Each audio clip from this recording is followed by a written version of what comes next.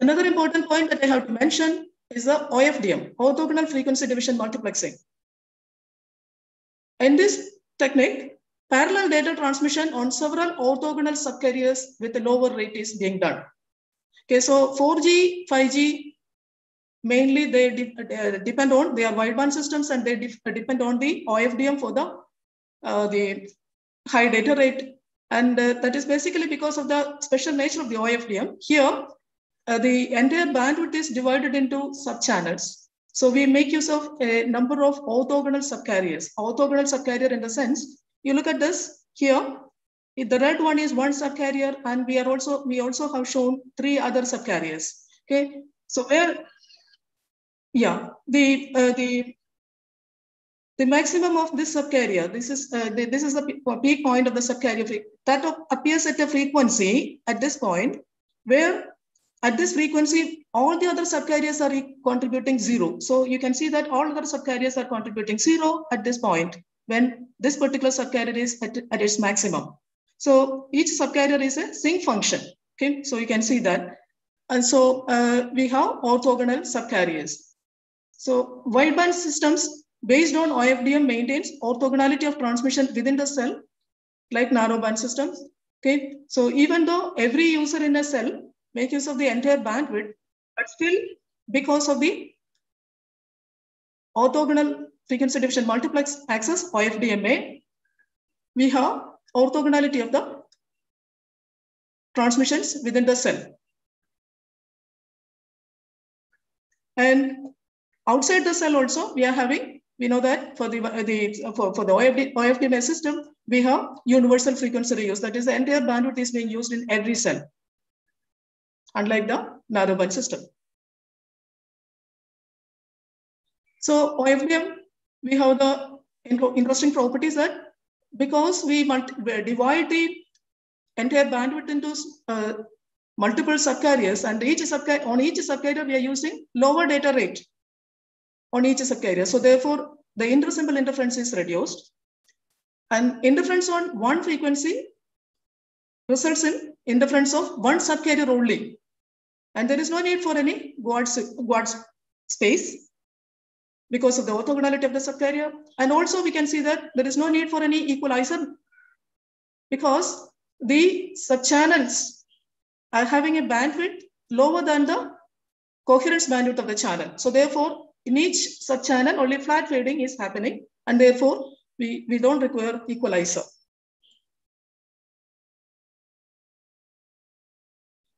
So evolution. So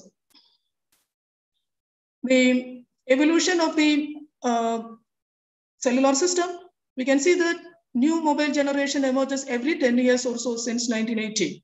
The first generation, which was based on frequency division multiplexers, was analog.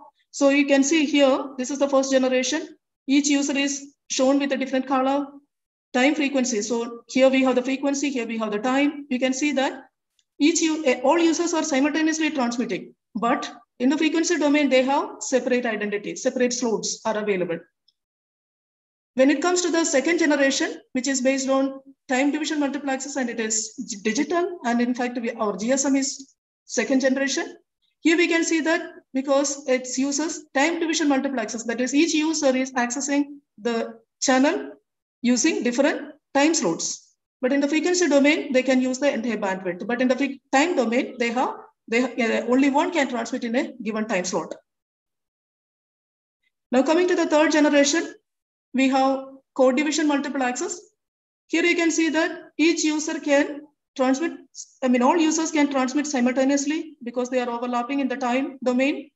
And in the frequency domain also, because uh, every user can use the entire bandwidth. This is called the wideband system. Every user can use the entire bandwidth. But each user has got a unique identity, uh, which is called a code. So his signal, the user signal will be modulated using a pseudo-random code. And because of the uniqueness of the codes, we can separate out the signals at the receiver side. And it, when it comes to OFDMA, orthogonal frequency division multiplexers, we can see that each user has specific time slots and specific frequency slot. I mean, subcarriers and time slots.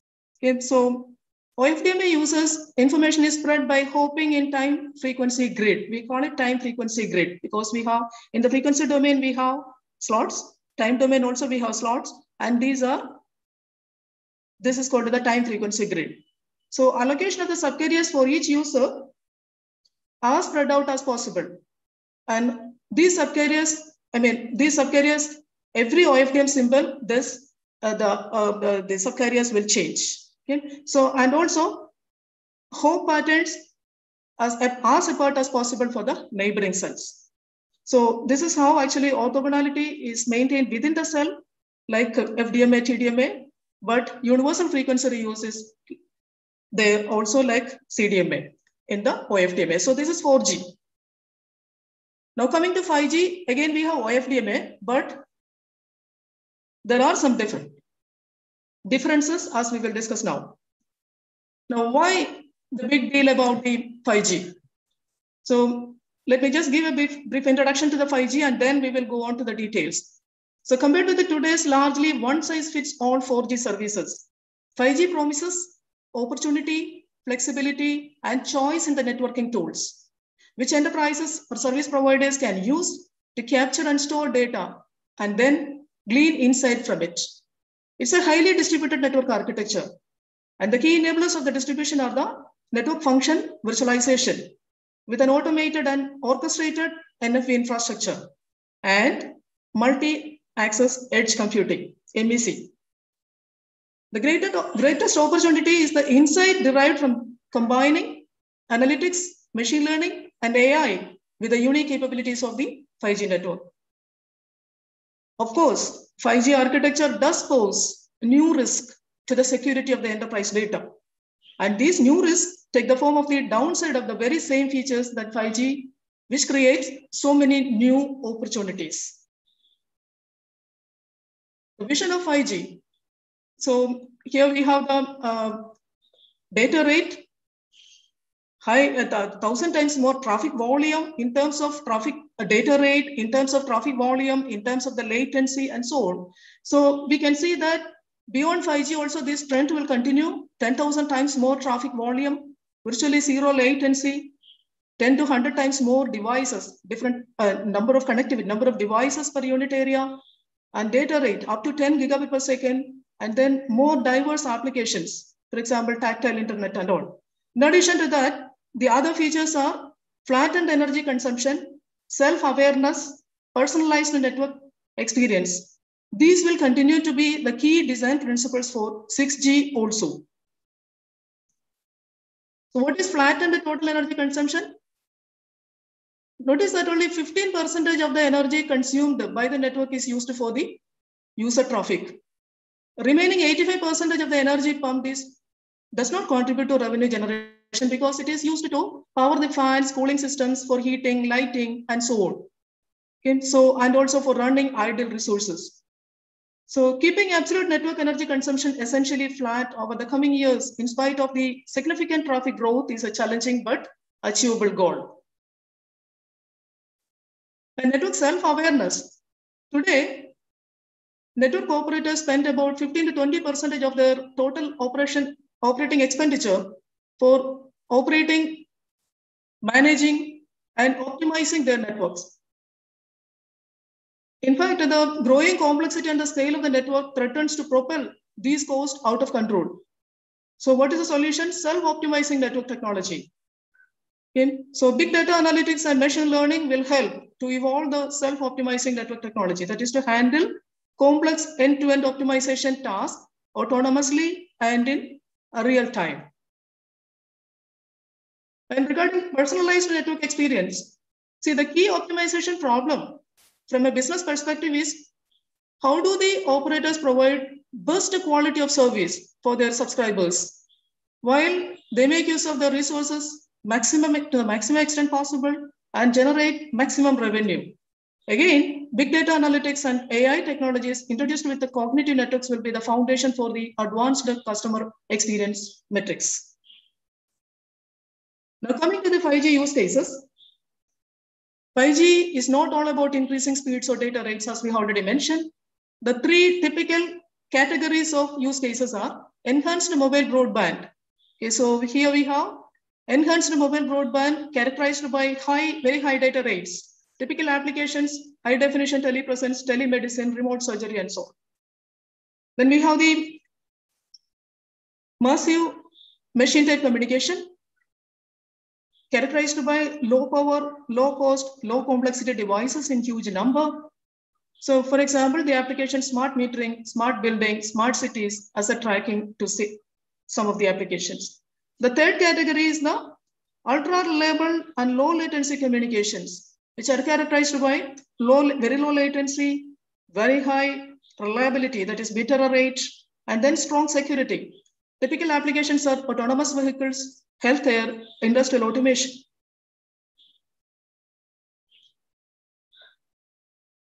So what are the key physical layer enablers for this ultra low latency? These are the various components contributing to the ultra low latency. Short packet communication, typically, unlike the, the traditional uh, uh, larger size packets, we will be having very, I mean, we have to use very short packets for the strict reliable, I mean, a a stringent latency constraint.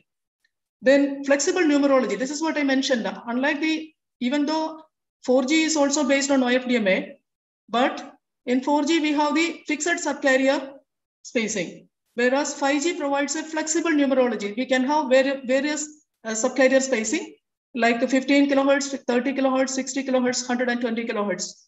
And higher the subcarrier spacing, lower will be the OFDM symbol period. Another flexibility is in terms of the time in the time domain. Again, we can have slots and unlike the unlike the uh, 4G, we have concept of slots and mini slots. And also we can have in one transmission time interval, we can have multiple uh, different number of OFDM symbols okay, two, four, seven, or 14 that is allowed in 5G. So this flexible numerology and the slot or mini slot level transmission allow one to choose a specific transmission time interval based on the requirement. At another, at another feature for the ultra low latency is the self-contained slot structure. That is 5G allows a slot to contain either uplink or downlink or flexible signals together. This allows the base station to send data to the user equipment and the user equipment to send the acknowledgement or negative acknowledgement to the base station in the same TTI, thereby significantly reducing the latency. So this is the 5G network architecture. I'm going to discuss each one of these uh, component key enabling technologies. So let us move on to the next slide. Okay, uh, this is an important concept that is a 5G network slicing. Multiple logical networks are created on top of a common shared physical infrastructure. This network slicing enables enterprises to have their own autonomous 5G networks, each one customized to their unique requirements and backed up by service level agreement. And software defined networking and virtualization allow customizable elements to be chain programming, chained together with each element running on the architecture of its choice. And uh, the resources for, the, for each slice can be set up based on requirement of the application. For example, for a massive IoT application, we need a network slice that connect IoT devices with a high availability and high reliability, data only service with a given latency, data rate, and security level. And for the augmented reality application, we need a network slice with a very high throughput, high data speeds, and low latency. How do you realize this network slicing? Okay, so this is basically by using a particular connection type with a specific way of handling the control plane and user plane for their service. Okay, so you can see um, here, this is one network slice, another slice, another slice, and so on. So these are the access nodes, cloud nodes, and network nodes. Okay, the three different kinds of nodes. Uh, there you can see control plane and user plane. So specific way of handling this control plane and user plane using uh, uh, different kinds of equipments or device nodes. And also specific radio access technologies for the connectivity. For example, this 5G slice one, for that is application is for smartphones. Uh, radio access technology one and radio access technology are combined, two are combined, are used. For example, we can have, I mean, these radio access technologies are different kinds are available. For example, Bluetooth, um, Zigbee, ultra wideband, and then we have Wi-Fi, then 5WIN. 5WIN means fiber wireless integration network. So different kinds of radio access technologies are available. So here RAT1 and RAT2 are used. And then we, we the red, red color devices indicate which are the, these are uh, the resources from these equipments are being used for this particular slice. Second slice, again, you can see like this. Third slice, this is for massive IoT connection. This slice, again, make use of appropriate radio access technologies like one and three. And again, you can see that user plane and control plane are using these devices. So physical infrastructure is the same, but we have different logical networks which can be configured according to the requirement of each of these applications. So 5G air interface, the 3GPP, the third generation uh, participate pro, project participate the 3GPP, uh, the partnership project, third generation partnership project. Standard is known as the new radio, is the 5G air, air interface standard. It is actually, you know, adaptable to the diverse services, applications, and devices of the future. It is scalable to support massive connectivity and massive capacity. It is intelligent to adapt to all the locally available spectrum. We will discuss these, these points. And it comprises building blocks and configuration mechanisms, which enable the air interface to be flexible and adaptable, like no adaptive waveforms, adaptive protocols, adaptive frame structure, which we have already seen. Then adaptive coding, channel coding and modulation family, adaptive multiple access schemes, and so on. Now coming to the 5G spectrum. See, typically up to 4G, we are using mobile bands between 1 gigahertz up to 2.6 gigahertz only. But 5G, we will be using from 2.6 to 6 gigahertz also.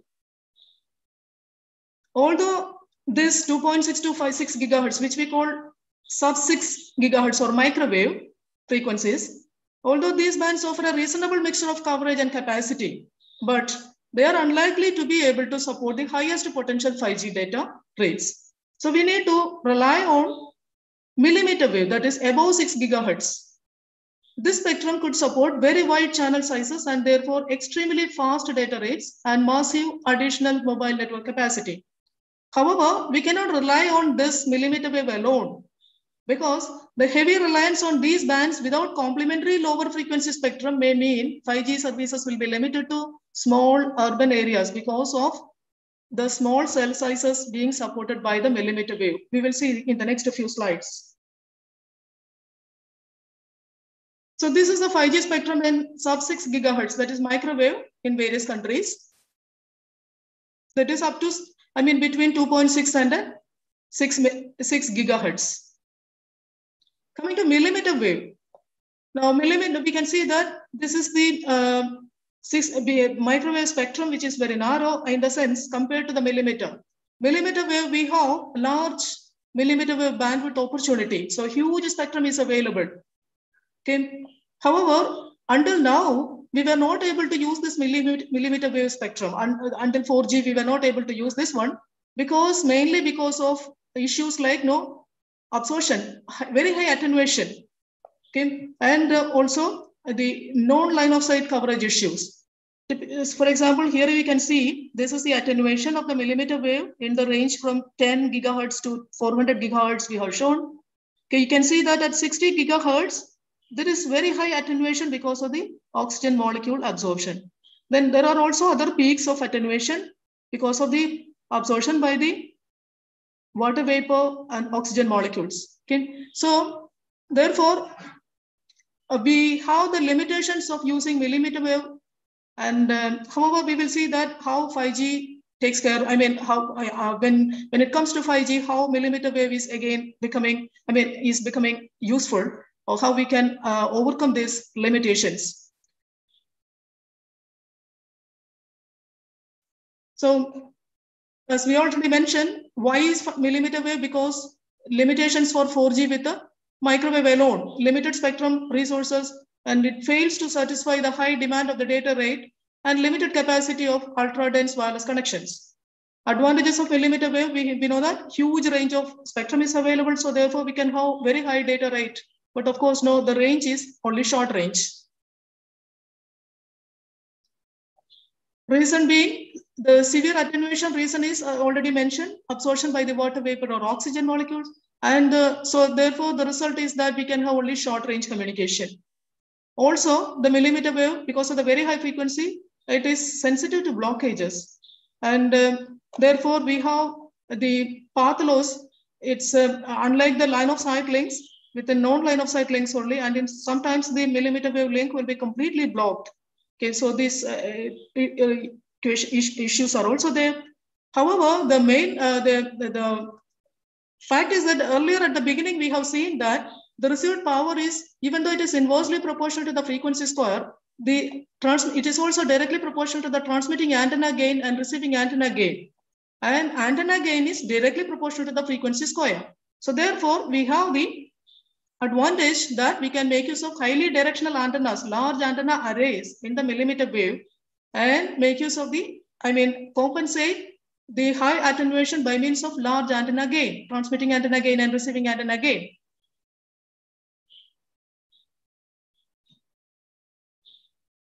So this is the millimeter wave global market.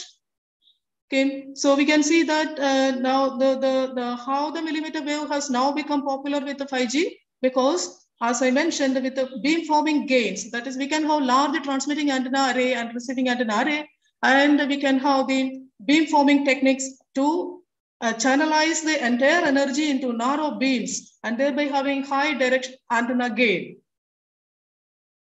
So uh, this uh, global market, we can see that in India, there is no millimeter wave being uh, allocated so far. Now coming to the another key technology, enabling technology called the massive MIMO. MIMO means multiple input, multiple output. And um, that means we, we use multiple antennas at both the transmitter and the receiver. By using multiple antennas at both transmitter and receiver, we can reduce the error, bit error rate, and also we can increase the network efficiency. More antennas means we can have more signal paths over the same radio channel and better performance in terms of both data rate and link reliability, that is bit error rate. Massive MIMO means it scales up Uh, the number of antennas used at the transmitter, transmitter receiver goes to hundreds or even thousands of antennas and terminals. Okay, so that is massive MIMO. These antennas typically they're attached to the base station. They focus the transmission and reception of the signal energy into small regions of space, providing new levels of efficiency and throughput. You can see that this is a mobile tower with a large thousand or a large number of, of the order of thousands of antennas used at the base station. Okay. And we have uh, several users. The users can have simple uh, single antenna also. So you can uh, you can see that uh, the K streams, K users, okay, M antenna base station. So this is the uplink. Here we have the uh, decoding being done. Similarly for the downlink, we have the K streams for the K users are pre-coding, pre-coded and transmitted from the base station antennas to the users. Okay, so here we can see that for the uh, pre-coding and the decoding, pre-coding of the down, uh, downlink data and the decoding of the uplink data, we need channel state information. That is, the global channel state information is required regarding the each link I mean, link between the base station and each user. So that is the important aspect, I mean, complexity of the massive MIMO, that is channel state information, global knowledge of the, which means the, uh, there should be some pilot transmission, pilot signal transmission between the base station and the uh, users to get the channel state information, okay, estimate the channel state. And uh, uh that is uh, required for the pre-coding and the decoding at the base station. So what are the um, gains that we can achieve with the massive MIMO? There are mainly three important kinds of gains. Diversity gain, which means uh, see, because we have multiple paths between uh, any pair of transmitter receiver, now if one path, they are independently fading paths. So if one path is in deep fade, then still there are other paths which have got high channel gain. So this is called the diversity gain. So therefore we can bit error rate improve significantly because we have uh, compared to unlike a single uh, path which is under deep fade, we have multiple paths and therefore some uh, we can appropriately combine these paths to get very high, I mean, uh, very high reliability. The second gain is called the multiplexing gain. So here we have, uh, because between the multiple transmitting antenna, receiving antenna, we have multiple paths, parallel paths are effectively available. So therefore we can have enhanced the capacity or data rate. The third kind of gain is called the directivity gain, which is actually you know, the large number of antenna or the antenna arrays at the transmitter or the base station can be uh, can be uh, configured. Uh, the gains or the uh, the um, we can proper uh, we, we call it beam forming. By doing the appropriate beam forming, we can have very uh, high directivity gain, which means we can have narrow beam or with all the radiating energy confined to very narrow beam. So we have the high energy efficiency and also interference mitigation because of the narrow beam uh, pointing to each user. So these are the three major gain, main gains that we can achieve with the massive MIMO. However, there is a trade-off among these three types of performance gain. We cannot achieve all three at the optimal way, but um, we can uh, we can have the optimal trade-off among these three types of gains. Then we also have the multi-user diversity. That is, the channel quality varies across the users. Okay, so system resources can be allocated to those users which has got the best channel quality. This is called the multi-user diversity. Then we can combine this multi-user diversity with the MIMO in the sense additional benefit of choosing users with a good spatial separation. Okay, so um, the sum rate capacity gain in the downlink is proportional to. So I initially I mentioned that the massive MIMO is massive, a large number of transmit antennas are uh, deployed only at the base station and the users can be single antenna system. So uh, because the sum rate capacity gain for the downlink is proportional to minimum of total number of transmitting antennas and total number of antennas of all users. So depending upon the number of users, even if each user is using only single antenna, still we have uh, the sum rate capacity of the downlink proportional to minimum of these two. Similarly, sum rate capacity gain in the uplink is proportional to minimum of total number of receiving antennas, that is antenna, number of antennas at the base station, and sum of the total number of transmitting antennas, that is, the, if each user is using only one antenna, then number of total number of transmitting antenna is equal to the total number of users. Now, I mentioned that we can have the um, trade-off between these three using appropriate space-time coding and modulation techniques to achieve the full range of diversity, multiplexing, and directivity trade-off. Also, we can have the multi-user detection techniques. That is, instead of detecting each individual user signal separately, if we have the combined or simultaneously the user signals are being detected, then interference between users can be subtracted out, which can improve the performance and increase the user capacity further.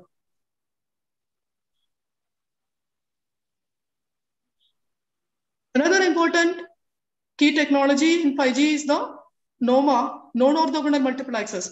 Earlier we mentioned about TDMA, FDMA, CDMA, OFDMA. They are all orthogonal in the sense that the resources are orthogonal. For each user, we have the orthogonal resources. But the non-orthogonal multiple access is means the same resource can be used by multiple users. Here we find that two users, okay? So they are sharing the same resource. By uh, this is basically done using superposition coding at the transmitter side and successive interference cancellation at the receiver side.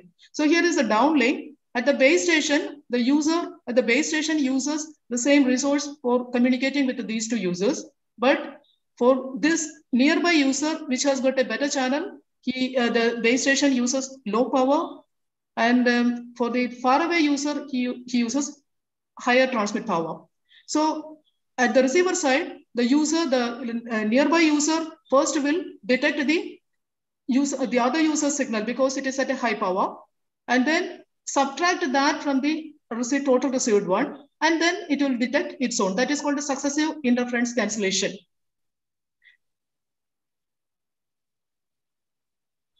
Why NOMA is ideal for 5G? Consider these two scenarios. The, one, the first scenario is that if one user has a very poor channel condition, then bandwidth allocated to this user via orthogonal multiplexers is not used efficiently. So NOMA can give high spectrum efficiency. Consider another scenario. The one user to which this, um, uh, one, uh, suppose a user has only very low data rate requirement application. Okay, for example, IoT network. So in that case, no, the orthogonal multiplexers give sensor this device more than what it needs. And uh, that will be not fully utilized. So again, we can see NOMA can support heterogeneous quality of service and massive connectivity. So NOMA provides several advantages because of the lack of time. I just uh, uh, go through it. Uh, I mean, uh, high bandwidth efficiency, fairness, ultra high connectivity, compatibility, and flexibility. Compatibility means the NOMA can be invoked. Actually, NOMA is added on top of the OFDMA. Okay, so uh, here in 5G, actually we are having NOMA added on top of OFDMA. NOMA can also be used in other, other networks uh, about TDMA, FDMA, or CDMA. So any of the orthogonal technique. On top of that, we can add NOMA. Okay, so that is why it is compatible. NOMA can be combined with the MIMO. So we can have, with the MIMO, we can have different orthogonal beams because of the beam forming gain. We have different orthogonal beams and NOMA can be applied in each beam. So there is no intercluster interference.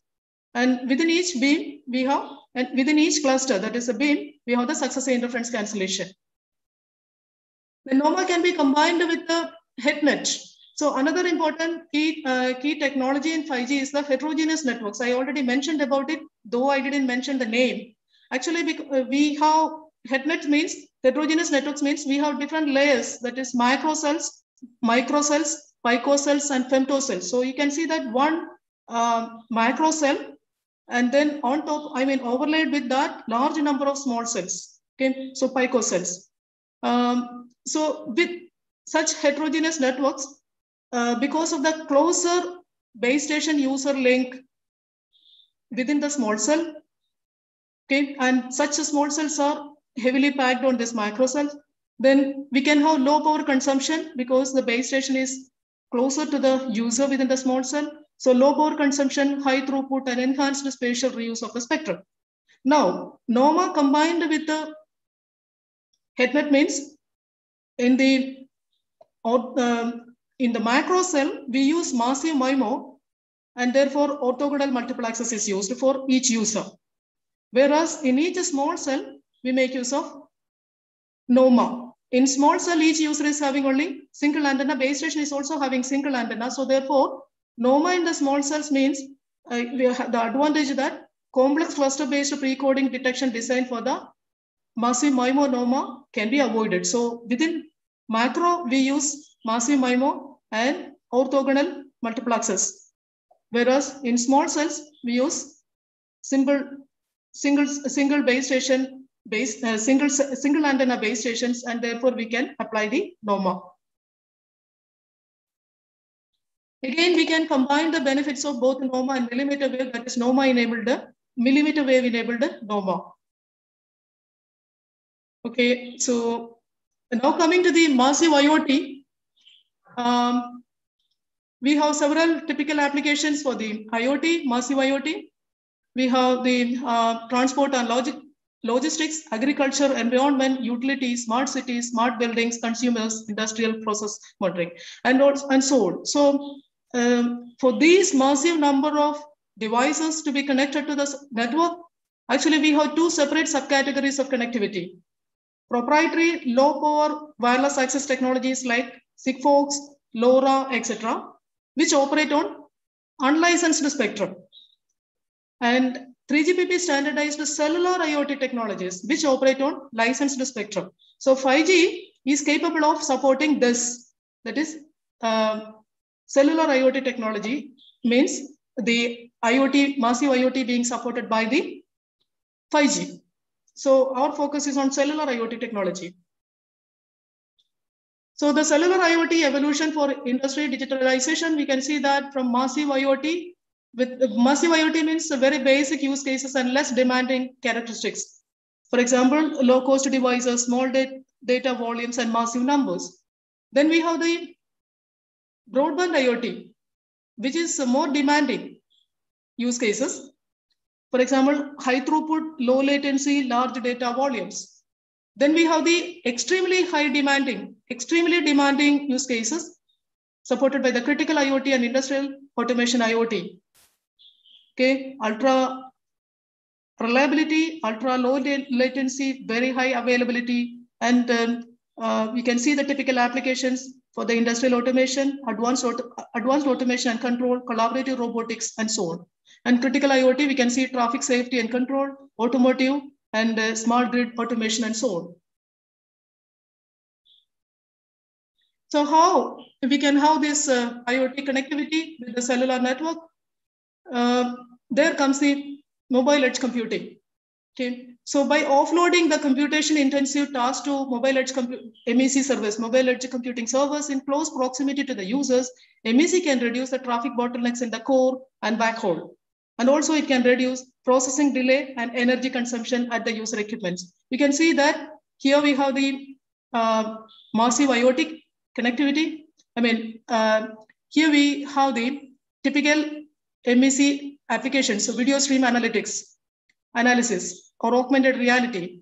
And uh, typically you can see that more computation intensive uh, uh, task will be given to the cloud, central cloud. Whereas the uh, uh, critical, uh, the latency, I mean, delay dependent, I mean, sorry, the, the less computation intensive, but um, more delay critical things will be done at the edge using the MEC server. Similarly, for the augmented reality application, I have shown two typical applications here. So you can see here the architecture of the MEC system. Um, the mobile edge computing integrates the cloud computing functionalities into radio access networks efficiently and seamlessly. So here we have the mobile device. Here we have the base station with the co-hosted MEC servers. Okay, so um, here we have the cloud and the cloud data networks and the data center. So you can, uh, with this kind of, I mean, uh, a computation intensive, intensive task only will be given to the central cloud. Otherwise, no, everything will be done at this mobile edge MEC server. Okay, so we can have ultra low latency, energy saving, backhaul usage alleviation, context awareness, and privacy security enhancement. So this is my, I think, uh, only one more, two more slides. The multi-access mobile edge computing for heterogeneous IoT, that is ultra-dense network, deploys a large number of short-range and low-power small cells over the coverage area of the macro base station. A user equipment can simultaneously connect to a macro base station and one or more small cells so as to further improve the network throughput, spectrum efficiency, and data rates. And the growing demand for the ultra low latency, massive connectivity, and high reliability of the large number of heterogeneous IoT applications has yielded a critical issue in MEC. So that is being addressed by the multi-access MEC, which can address the conflict between computation intensive applications and resource constrained IoT mobile devices and can provide the IoT mobile devices with the cloud capabilities at the edge of the radio access networks. Computation resources at the mobile device and the MEC servers connected to the micro base station and the small cell base stations are to be utilized collaboratively. And the success of the multi-access MEC in ultra-dense networks still faces several challenges to be still addressed. So this is my last slide. I mentioned about the 6G. So with this, actually, now I have quickly gone through the various aspects of the 5G and also the key enabling technologies of the 5G promises. And now coming to the, the last slide, the 6G. It's um, I already mentioned at the very beginning the vision of 5G beyond 5G. That is actually pointing to the 6G, terabits per second speed and terahertz spectrum. Artificial intelligence core networking. Latency will be reduced to microseconds from the 5G milliseconds. Then AI powered network management, then industry and use case driven standardization. And then we have the short range communication because of the frequency, terahertz frequency, then experiential networking. And uh, uh, mainly the ORAN, the Open Random Access Network, is the, which is an alliance comprising more than 160 con contributions from various academics, industry, uh, cloud vendors, service providers, uh, network uh, manufacturers, I mean, equipment manufacturers and all. They are all contributing, I mean, contributors of this 100 and, uh, the ORAN. Basically, they are uh, the proposing architectural transformation to support the device heterogeneity, coordination of the multi-connectivity technology, and on-demand service deployment. The main or core pillars of the 6G or the proposed by ORAN is the openness and intelligence, basically for enhancing the virtualization, flexibility, and intelligence. And then leveraging the emerging learning techniques to embed intelligence for dynamic local radio resource allocation and optimal network-wide efficiency. So with this, I have uh, completed my uh, talk. Okay, thank you for your patient listening. Um, now it is open for your questions. Okay, thank you so much, ma'am. It was really a wonderful session and it was great listening to you. Uh, we have received some queries regarding the session, ma'am. Uh, it would be very kind if you respond to those doubts. Uh, shall I read it out for you, ma'am? Yes. Okay. The first question was raised by Dr. Ravindranathan CK, and it was to elucidate on the orthogonality concept. Okay, orthogonality, as uh, we have mentioned that uh, frequency division multiplexing orthogonality is in the frequency domain. Each user is given a separate frequency slot. And in the uh, time division multiplexing, we have again orthogonality because each user is given a separate time slots. Then code division multiplexing, again, we have orthogonality. If we have the codes allocated to each user is orthogonal. There are orthogonal as well as non-orthogonal codes. And then we have the OFDMA, again, we have the orthogonality because each user is given different set of subcarriers and different, and, and that too will be changing from one OFDM symbol to another OFDM symbol. Okay, so therefore, these, uh, that means the resources are orthogonal uh, for each user. That is what uh, I hope I uh, uh, it's clear, or uh, do you have a further explanation needed? Whereas NOMA, non-orthogonal means actually no, the same resource is being shared by multiple users. Okay, so we have seen that with the power domain NOMA, we can have the same resources, time and frequency uh, resource being utilized by multi for multiple users. But with the different power levels, the different users can be, uh, yeah, we can have the successive interference cancellation, and then we can separate out the signals. Is it, is it okay, or uh, do you have a further explanation needed? Okay, that's okay. Thank you. Thank you. Thank you. Thank you. Okay, uh, thank you, ma'am. The next question uh, was also raised by Dr. Ravindranathan CK, and it was, uh, could you please explain the concept of spatial channels in wireless communication? Spatial channel, okay. Um, do you mean, okay, uh, because no, uh, if the users are separate uh, they, with the uh, different spatial channel means do you mean space diversity? If you mean space diversity, then uh, it means that if the, uh, the geographical locations are separated by uh, uh sufficient distance, then the received signal strength at those two points will be independently fading. Did you mean space diversity? Yeah, can we connect it to something like what is done in, in the case of wired channels? In wired channel special electricity means different conductors are used to carry different No, in wired the channel, none of these difficulty, none of these problems arise in the wired channel because we have because we have the uh, the uh, point-to-point connection with the the link is being shared and the user signals are actually you know uh, coordinated. So therefore, there is no Yeah. question of either we have the, No. the synchronous uh, multiplexing No, or we have the can you asynchronous have, multiplexing. can, so there is no we have question the of same, same can, can we have more or less same arrangement in the wireless? That's my question. Spatial channel. Because I have seen some literature where they have mentioned that it is 15, uh, uh, what, Uh, with, uh, Dr. Ravindranath, Dr. Ravindranath, I think we will have offline discussion on this because uh, no, um, there are uh, other will do. questions That related will to do. 5G. Thank you. Yeah. Will be fine. We'll, Yeah. Thank you. okay, Thank you. Thank you. That will do. Thank you.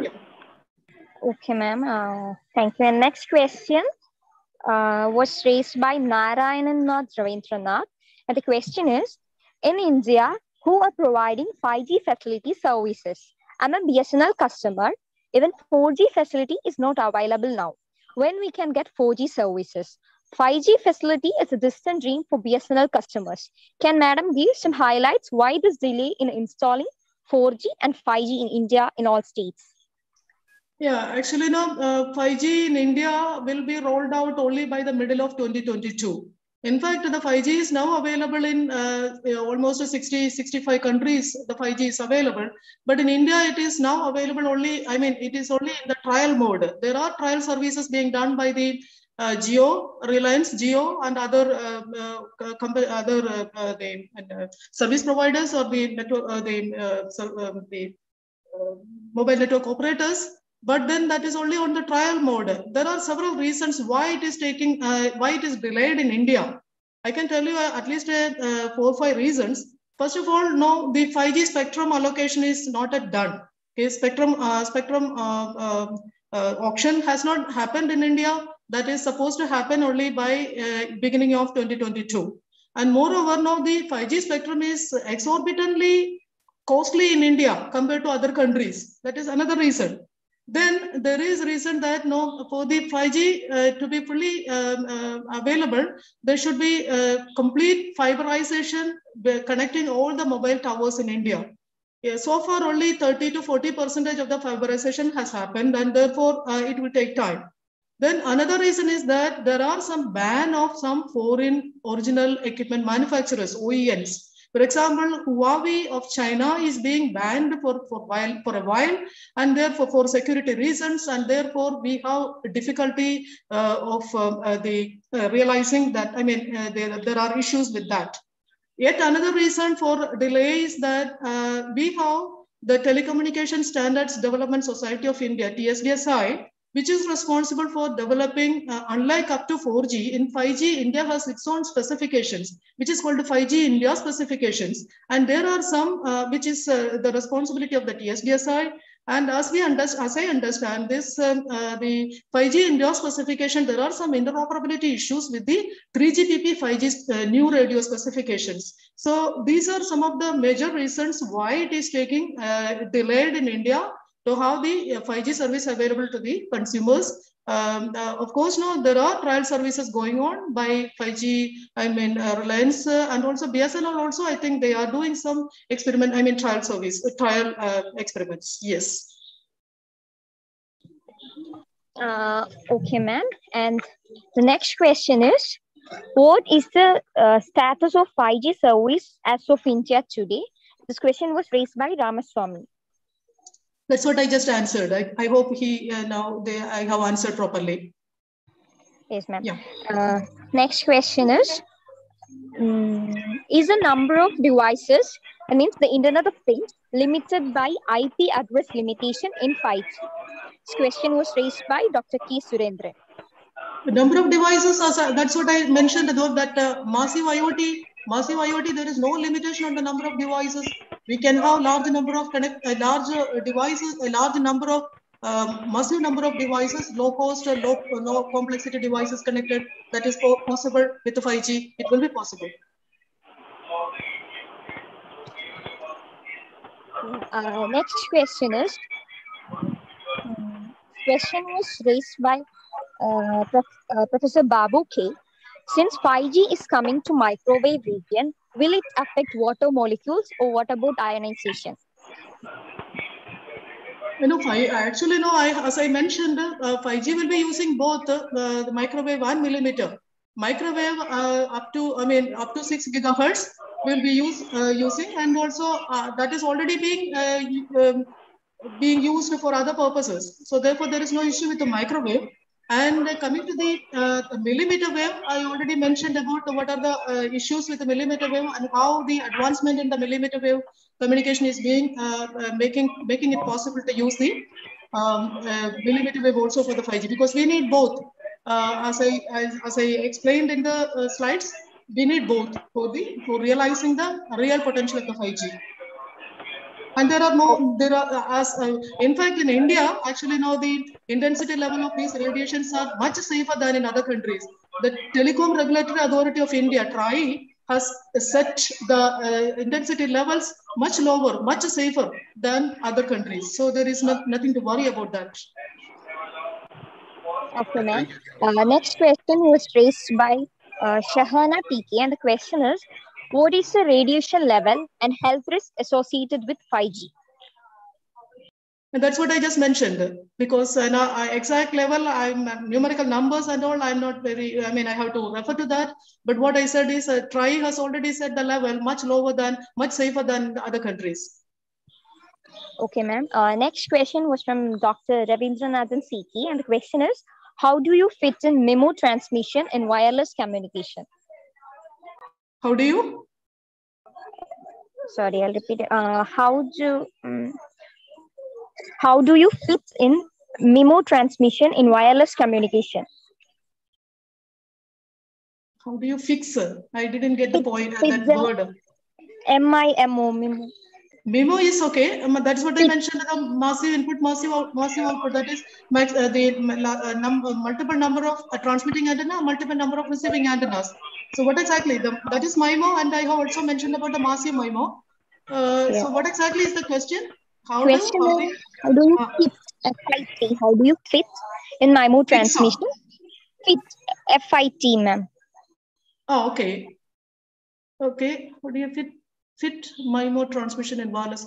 See, MIMO, massive MIMO is one of the key technologies for the uh, 5G for realizing the very high data rate. That is, I have mentioned that now with a large number of antennas at the transmit, I mean, uh, with the MIMO, we have three different kinds of gains available the, uh, the multiplexing gain or array gain, which can give you very high data rate. Then we have the diversity gain, which can reduce the bit error rate to a significantly low value. And we can have, I mean, ultra high reliability is possible with that. And then we have also have the beamforming gain. That means the high energy efficiency because the entire radiation can be confined to very narrow beams and thereby we can have the, uh, the, the highly reduced interference as well as we have the energy efficiency. So these are all various uh, gains that we can have with the MIMO. And as the number of antennas increase in the MIMO, then we can have these, these gains also increasing substantially. But then uh, the, the, there is a trade-off. We cannot have all these gains simultaneously to the maximum, but we have the uh, trade-off that trade-off can be achieved with the various technologies. Various techniques are available. Uh, unfortunately, I cannot go into those uh, technical, uh, deep into those technicalities uh, because of the general audience. So, madam, I have a supplementary question, which is like, uh, uh, if it is possible to have a single antenna at the user side handset, multiple antennas at the base station, will be yes.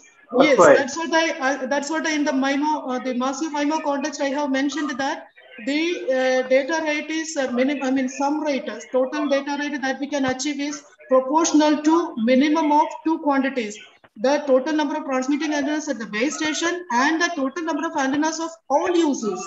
So if you have a large yeah. number of you with a massive number of users, even with a single antenna for each user, the total number of receiving antenna will be the total number of users.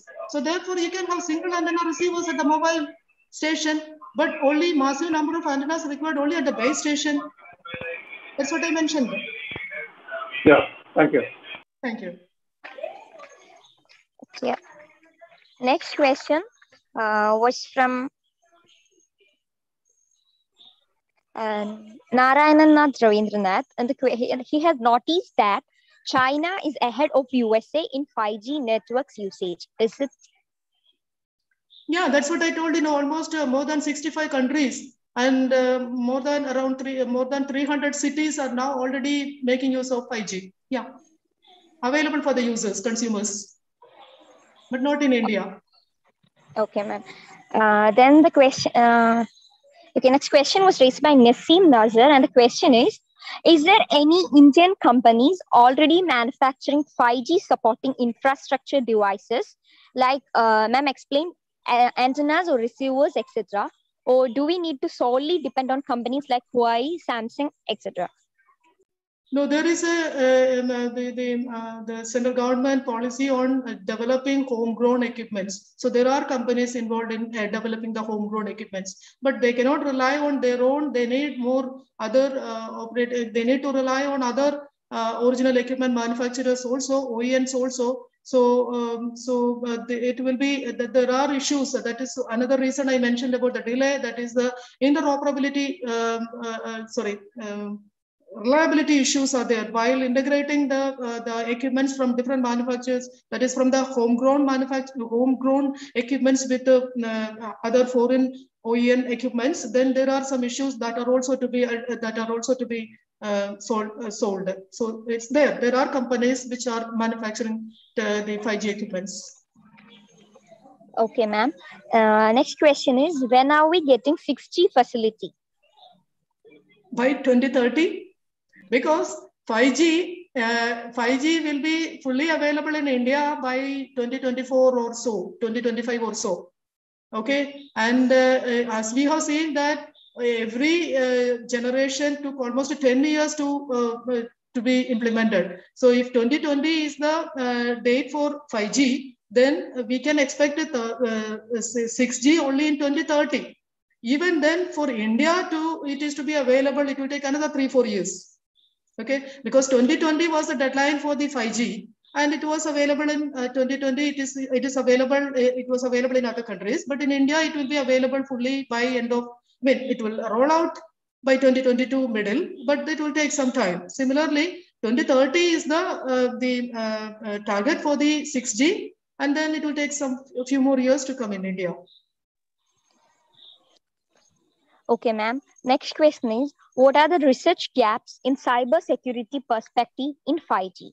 The question was raised by Rajesh R.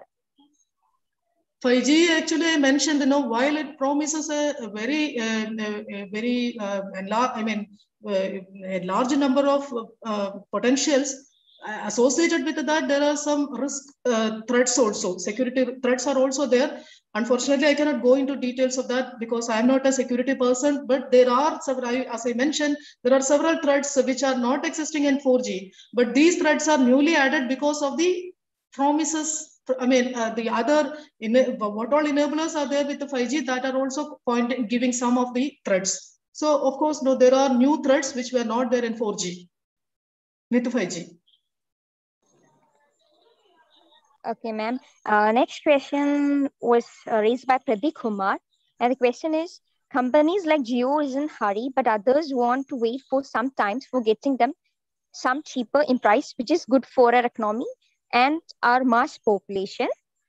And he's asking, please, uh, which service provider is going to introduce the 5G first in India and, and why in our country we are experiencing speed difference in 4G is it continued with 5G too? Uh, it's difficult to tell at this point because 5G uh, Reliance, uh, the Jio um, uh, because no, first of all, no, the auction, the 5G spectrum auction has not happened. No, as I told you, no, it will happen only in the beginning of 2022, and the exorbitant cost of this 5G. So definitely, I think uh, BSNL will be uh, uh, having some edge on that, but I don't know. I I cannot predict on these things but uh, only we can wait and see. Okay, ma'am. Uh, next question is from Hagai Alumni Association. And the question is, what is safe power density level for 5G? Again, I, I think this question was there in the, earlier, and I mentioned, you know, uh, that um, I can't tell the exact numerical numbers and all values and all, but uh, we are very safe. I mean, the levels in India, as uh, given by the TRAI, uh, Telecom Regulatory Authority of India, is much safer. So uh, I can't say exactly know what's the number. I mean, the the exact number and all. Uh, I have to refer to that. Madam, I have a question there. It is often found that uh, other than BSNL, all other private players, mobile service providers, they often violate, they often violate the minimum power level, maximum power level that can be credited by NBS and so on. It was revealed by a senior. Uh, no, no. Uh, can you can you please can you please repeat all these private? Uh... Being being being a public sector company, only BSNL is actually sticking on to the standards specified by the government of law enforcement agencies like TRAI and all. Others, they just uh, plurally violate the limitations. Is it true? Uh, I don't. Even I, though I, laws I, are there, I, don't, even though the limitations are there on the maximum power, they violate it blatantly. Violation. I think this uh, uh, the Telecom Standards Development Authority of the TSDSI, Telecom Standards Development Society of India, uh, they will be they are involved in the 5G. Unlike up to 4G, as I mentioned, no, uh, in 5G they are involved, and therefore this TSDSI and the TRAI will be uh, taking care of that. That's what I expect. No, this was uh, passed on to me by a BSNL person, senior person. No, these are all uh, no. We, we these are all no. I don't know whether it is from. We are getting this kind of information from the reliable sources. Definitely, there is TSDSI and TRAI uh, to take care of this, to monitor this? Maybe. I don't know. Okay, we are getting late. We will move to the next. So thank you so much, uh, all the audience, for your patient listening and for the nice interaction with me. Uh, thank you so much. Thank you, Professor Harindralal sir, for giving me this opportunity. And thank you all the audiences who, who have interacted with me. Thank you. Sandra, take over the... Okay, thank you so much, ma'am. Now I invite Ms. Chandra Baiju, IEEE volunteer, to deliver the vote of thanks. Thank you. Am I audible? Yes. Yes, you are. Yes, very good. Okay, sir. Thank you. Good evening, ladies and gentlemen. Thank you all so much for attending the 75th Talk of Inter-Society Weekly webinar series. First of all, I would like to thank Harindralal sir, chairman and organizer of Inter-Society Weekly webinar series, whose dedication has led us conducting 74 talks without any break on all Wednesdays. We would also like to thank Professor Lillykutty Jacob ma'am, who was a keynote speaker for today, and she also answered a lot of questions and queries that has come in from the audience. So thank you so much, ma'am. Thank you. Thank you so much. Thank you, Vijana. Thank you. Okay, ma'am. This talk yeah. is jointly organized by IEEE Kerala section, the Institution of Engineers Kerala State Center, Computer Society of India Trivandrum chapter, Project Management Institute Kerala chapter, Internet Society Trivandrum chapter, Vakkom Moulavi Foundation Trust Trivandrum, Life Member Affinity Group IEEE Kerala section, IEEE Engineering in Medicine and Biology Kerala chapter, the Institute of Electronics and Telecommunication Engineering. We would like to thank all these organizations involved in our initiative.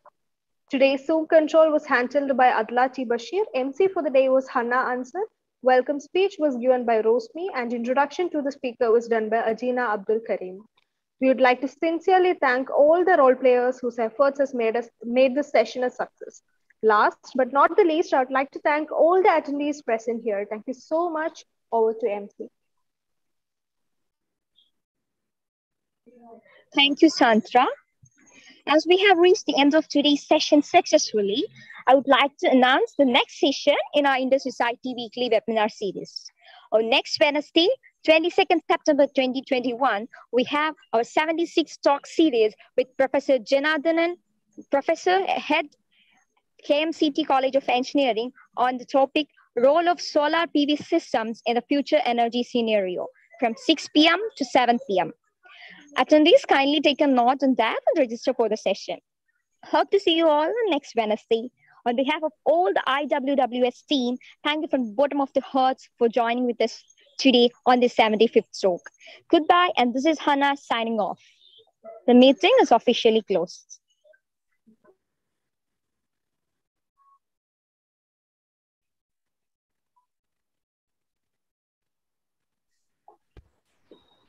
Thank you, Professor Lillykutty, for a great, great presentation and interaction and highly informative session.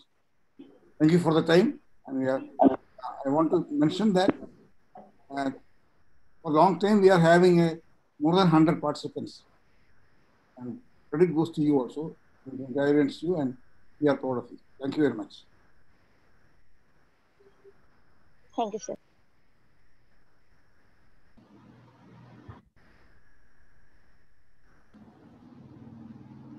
Abdullah, you can close it. Yes, sir. Can I end the meeting? Yeah.